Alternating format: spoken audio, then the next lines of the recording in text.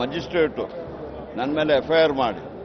ಆಗಲೇ ನಾವು ಸರ್ಕಾರದಿಂದ ಸಿ ಐ ಡಿ ಎನ್ಕ್ವೈರಿಗೆ ಆರ್ಡರ್ ಮಾಡಿದ್ವಿ.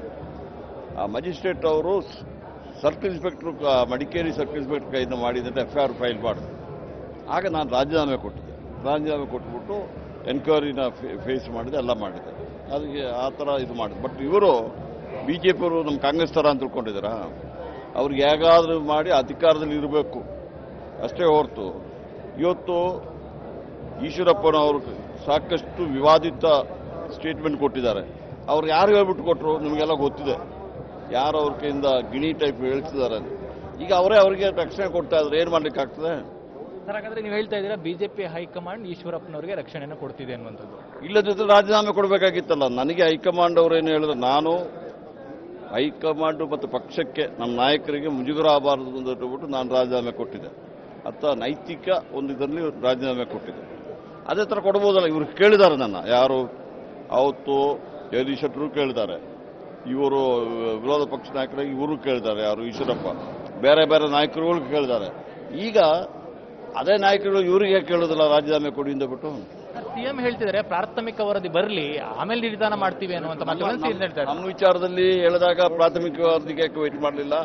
ಆ ಡಿ ಕೆ ರವಿ ವಿಚಾರದಲ್ಲಿ ನಾನು ಹೇಳಿದೆ ಒಂದು ವಾರ ಟೈಮ್ ಕೊಡಿ ಸಿ ಬಿ ಐ ಕೊಡ್ತೀವಿ ಇವರು ಅವರು ವಿಧಾನಸೌಧದಲ್ಲೇ ಮಲಗಿದರು ಅಹೋರಾತ್ರಿ.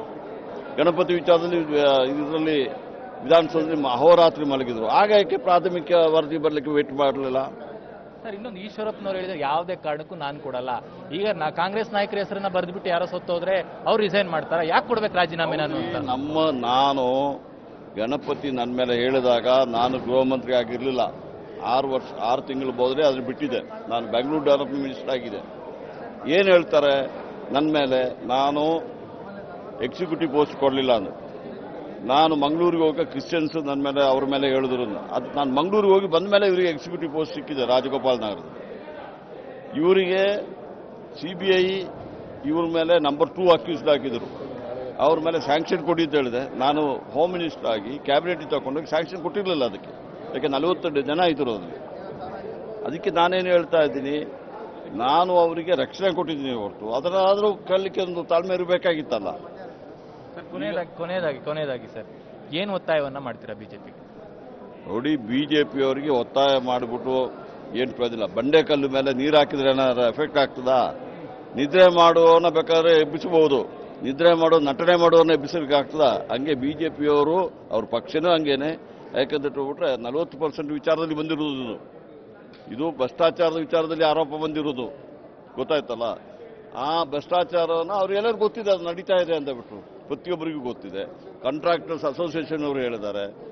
ಇವತ್ತು ಇವರು ಕಾಂಟ್ರಾಕ್ಟ್ರು ಪಾಪ ಅವ್ರು ಬಿ ಜೆ ಪಿಯವರು ಅವರು. ಹೇಳ್ಬಿಟ್ಟು ಸತ್ತಿದ್ದಾರೆ. ಆದರೂ ಅದನ್ನು ಒಪ್ಕೊಳ್ಳಿಕ್ಕೆ ತಯಾರಾಗಿಲ್ಲ ನಾವೇನು ಮಾಡೋದು? ರಾಜೀನಾಮೆ ಕೊಡಲೇಬೇಕು ಈಶ್ವರಪ್ಪ. ರಾಜೀನಾಮೆ ಕೊಡಲೇಬೇಕು ನಮ್ಮ ಬೇಡಿಕೆ. ಅವ್ರು ಕೊಡದೇ ಇದ್ದಾರೆ ಅಂದ್ಬಿಟ್ಟು ಜನ ನಿರ್ಧಾರ ತಗೊಳ್ತಾರೆ. ಹಾ. ಇದಿಷ್ಟು ಕೆ ಜೆ ಜಾರ್ಜ್ ಅವರ ಮಾತು. ಕ್ಯಾಮರಾಮನ್ ಮುರಾಜ್ ಜೊತೆ ಶ್ರೀನಿವಾಸರಾವ್ ಪಬ್ಲಿಕ್ ಟಿವಿ ಬೆಂಗಳೂರು.